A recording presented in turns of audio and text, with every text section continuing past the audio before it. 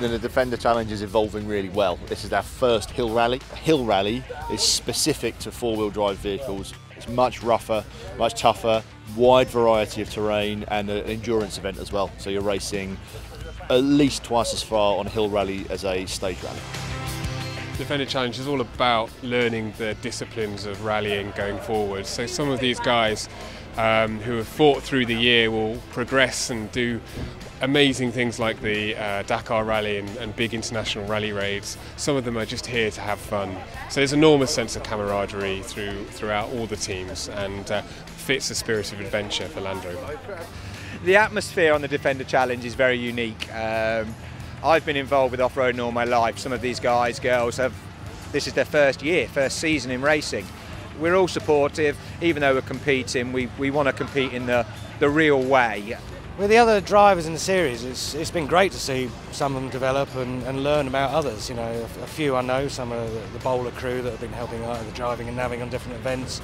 It's been a great rivalry between. We all discuss how the car is and the stages are most of them I'm not nervous because I know that I'm prepared to do it. But you know, you get excited, you get a bit of an adrenaline kick before it, and that's what I like most about it.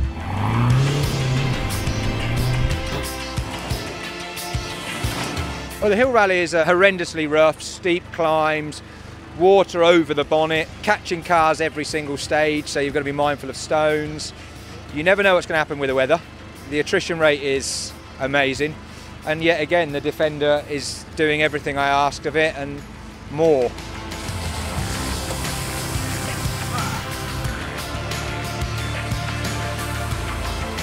It's proving to be exactly what we wanted it to be, a very friendly, manageable, low cost entry into racing uh, where we can give people as much support as they want and at the same time they're really developing and growing as drivers and, and co-drivers.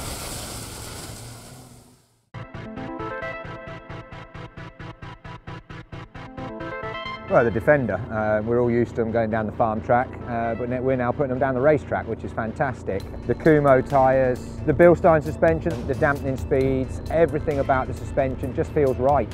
The integrated roll cage that Bowler obviously fit in there, the tune they put on the uh, engine, the torque curve. You've only got to see the big V8s that we've uh, overtook, gone past, and they can't catch us anymore, which is a testament to the Defender's brand, name, and everything about the Bowler. Um, two great brands come together.